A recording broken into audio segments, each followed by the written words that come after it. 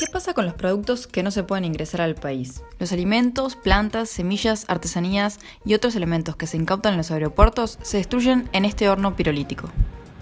¿Por qué? Acá los residuos son definidos como residuos sanitarios peligrosos. Eso hace que tengan peligrosidad biológica, sobre todo en la transmisión de posibles enfermedades. Pueden ser semillas de cannabis o de otras plantas no permitidas o los residuos que traigamos de algún viaje que puedan ser derivados animales, que no está permitido ingresar al país.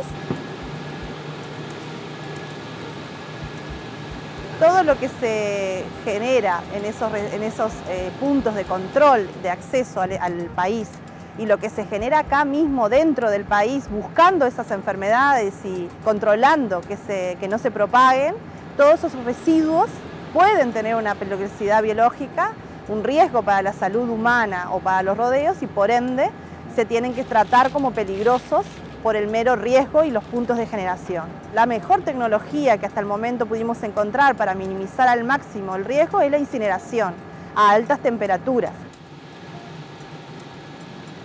se ponen los residuos en una bolsa eh, apropiada, estanca, y se ingresan mediante un cargador automático a la primera de las cámaras del horno, que siempre se maneja entre 750 y 800 grados Celsius.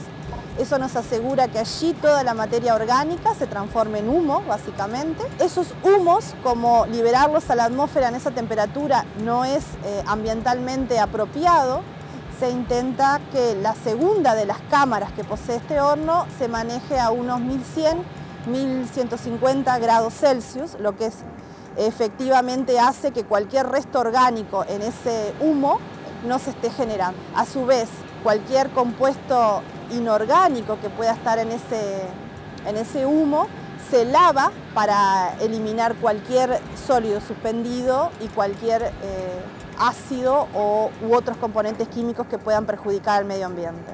Lo único que sale de acá son cenizas y vapor de agua.